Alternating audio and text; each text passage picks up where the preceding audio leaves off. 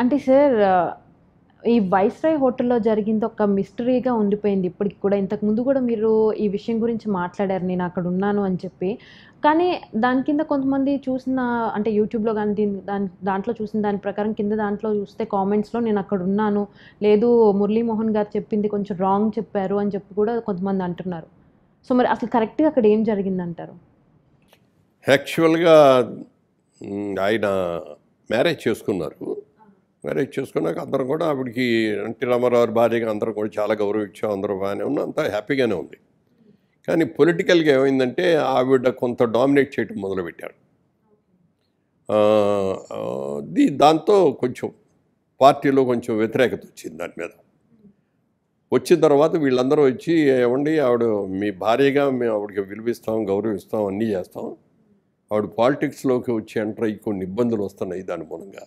Party కూడా దెబ్బతినేటట్టు ఉంది. ఆవిడ ఇంటికే పరిమితమైనంత వరకు ఉంటే బాగుంటుంది అని చెప్పి వెళ్ళి అడిగారు. చంద్రబాబు నాయుడు గారు సీనియర్ అశోక్ గజపతిరాజు గారు ఇంకెవరెవరో వాళ్ళందరూ వెళ్ళి అడిగారు. అడిగితే లేదు అదేమీ ఇది లేదు ఆవిడ అలాగే వస్తారు ఆవిడ అలాగే చేస్తారు అనేది కొంచెం ఇది అన్నారు ఇక లాభం లేదు పార్టీ దెబ్బతినిపోయేటట్టు ఉంది అని చెప్పి వీళ్ళందరూ గ్రూప్ అయ్యి వైస్రాయిల్లో హోటల్లో క్యాంప్ పెట్టారు. ఆ క్యాంప్ పెట్టినప్పుడు అది జరగకుండా ఉండాలని చెప్పి ఆ రోజు రాత్రి అంతా ఇక డివిజన్ రేపు మార్నింగ్కి డివిజన్ అయిపోయేటట్టు ఉందన్నమాట అది అవ్వకూడదు అని చెప్పి ప్రయత్నం చేసిన వాళ్ళు నేను ఇంకో ఫ్రెండ్ ఉన్నారు. ఆ, పాతూరు రామారావు గారిని ఆయన ఇంకొక ఇద్దరు కలిసి అది ఆపాలని చేసి మ్యాక్సిమం ట్రై చేసాం ట్రై చేస్తే ఇది జరగల మా వల్ల కాల. ఎందుకంటే అప్పటికే పరిస్థితులు దాటిపోయినాయి. ఎవరు చేయలేకపోయాం తెల్లవారులు ఆ రోజున అటు ఇటు అటు వైసరాయికి ఇటు ఇంటి ఇంటికి అటు ఇటు తిరిగి అన్నీ చేసాం కానీ జరగల. మా చేతుల్లో ఏముంటుంది అది? అంటే సార్ ఈ వైస్రాయ్ హోటల్ దాని గురించి కాసేపు పక్కన పెడితే నార్మల్గా కూడా ఎన్టీఆర్ గారి తరువాత హరికృష్ణ గారిని సీఎం చేద్దాము అని చెప్పి ఎన్టీఆర్ గారు అనుకున్నారని కొంతమంది పెద్దలు అన్నారు. అది నిజమేనా? అయ్యుండొచ్చు అయ్యి ఉండొచ్చండి.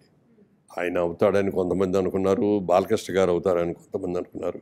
ఆయన నా వారసుడు నా నట వారసుడే కాకుండా నా రాజకీయ వారసుడని కూడా ఒకసారి ఇప్పుడు ఏదో సందర్భంలో ఆయన కూడా అన్నారు.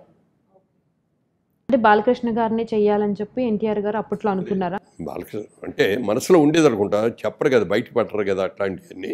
ఏదో సందర్భంలో ఏదో మీటింగ్లో అన్నారు ఆ మాట. అయితే చంద్రబాబు నాయుడు గారు బాగా ఎక్స్పీరియన్స్ కదా రామారావు గారి కంటే ముందు ఆయన రాజకీయాల్లోకి వచ్చాడు. రాజకీయాల్లోకి వచ్చి ఆయన మినిస్టర్ కూడా అయిన తర్వాత రా ఇతను కుర్రాడు బాగున్నాడు హుషారుగా ఉన్నాడు అని చెప్పి ఆయన వాళ్ళ అమ్మాయిని ఇచ్చి పెళ్ళి చేశారు కూడా ఎన్టీ రామారావు. తర్వాత తర్వాత పార్టీలో బాగా పార్టీ సెక్రటరీగానే ఉండి పోటీ కూడా చేయకుండా పార్టీ కార్యదర్శిగా ఉండి పార్టీని బాగా చేసుకొని వచ్చి తర్వాత ఆయన మళ్ళీ ఎమ్మెల్యేగా గెలవటం మంత్రి అవటం ఇవన్నీ అవటం ఇవన్నీ బాగా యాక్టివ్ పార్టీ తీసుకున్నారు.